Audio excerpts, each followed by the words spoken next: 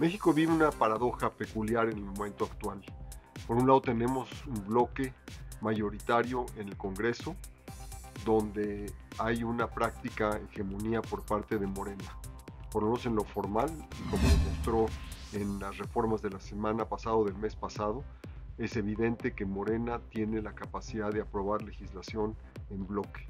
Por otra parte, tenemos un país muy fragmentado. Tenemos dos tipos de fragmentación. Por una parte, tenemos partes enteras del territorio que no están bajo control del gobierno federal ni de ningún gobierno constituido, sino de organizaciones criminales, de líderes políticos, de caudillos, de líderes militares. Es decir, tenemos una situación muy peculiar al nivel del piso.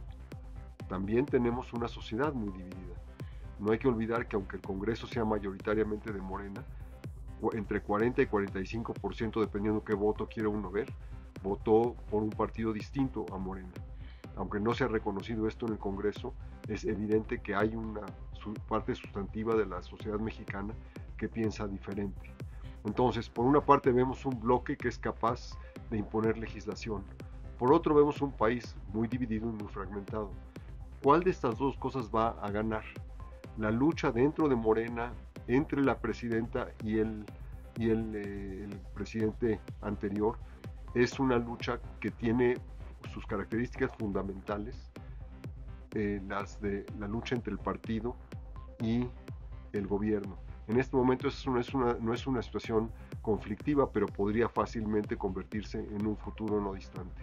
Por otra parte, tenemos un gobierno que quiere avanzar una serie de iniciativas y va a tener que contender con una sociedad que tiene otras ideas o que tiene al menos ideas diferentes.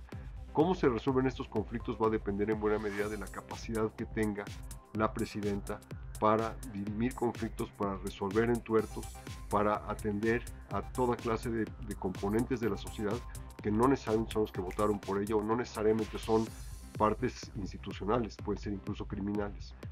Ese es el gran reto, me parece, del país en las, en las próximas semanas y meses.